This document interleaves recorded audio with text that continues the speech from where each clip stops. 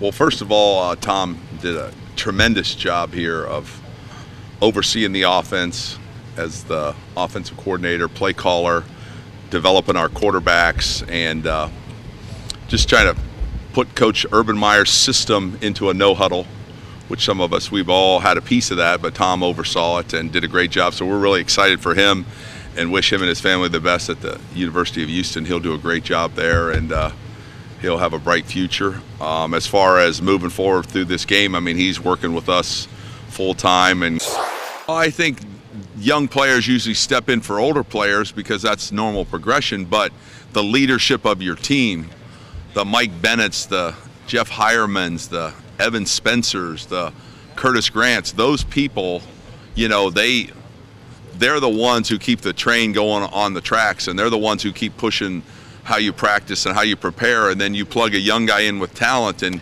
he learns from them how to keep moving forward. And yeah it's a credit to some of those young guys and the coaches that have coached them and developed them to get them ready to play. But uh, the veteran leadership that we have and the, and the coaching staff are the ones who keep the train on the track and keep it moving and I think that we have strong leadership on this team. One of those guys has been Cardale. He obviously performed well against Wisconsin.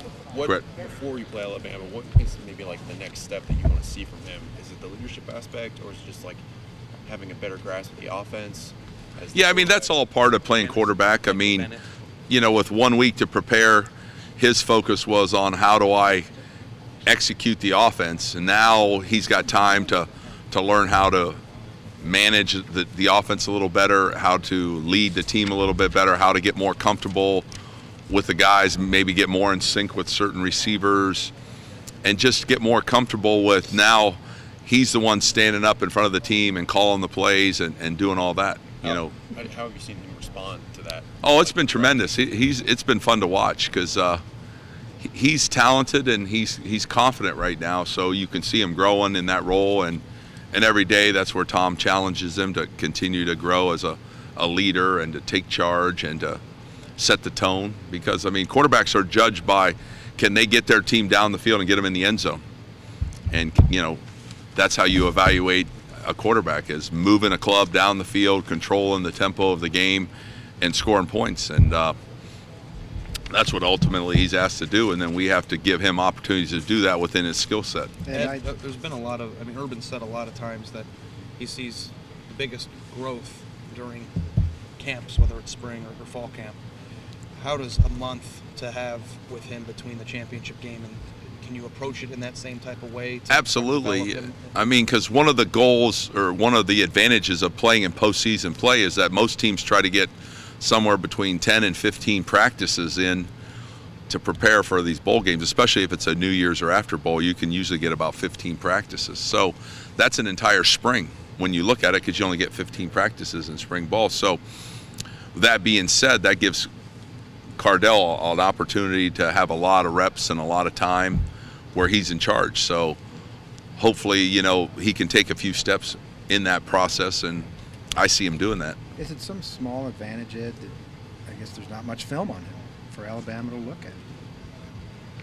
Yeah, I don't think. Yeah, I think there there is maybe some advantage to that Yeah. because they're very good at evaluating personnel and evaluating strengths and weaknesses and what you might try to do. So, you know, they have a small sample size to kind of understand who he is and what he can do. Um, you know, so I guess that's an advantage for us. You know, and uh, you know, then we have to figure out what it is we want to ask him to do moving forward that can help us win a game. He told me he could throw at 85 yards. What, what is, I mean, that Hmm? people like to read that. It's impressive. What, what does that mean to actual, you know, winning quarterback play?